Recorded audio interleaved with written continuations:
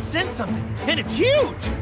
This energy's insane! It feels like Buu's, but there's more to it!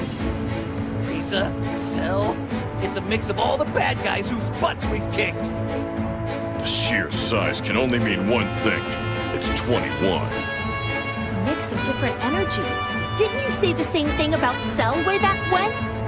21 and Cell are both androids.